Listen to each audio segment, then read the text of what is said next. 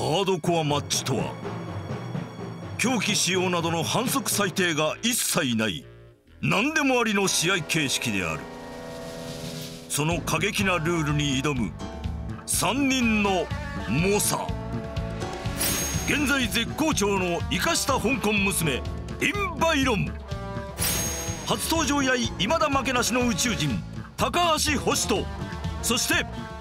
自主興行を成功させ勢いに乗る人宅紀藤拓也真っ昼間から繰り広げられる全員的何でもありのハードコアマッチ。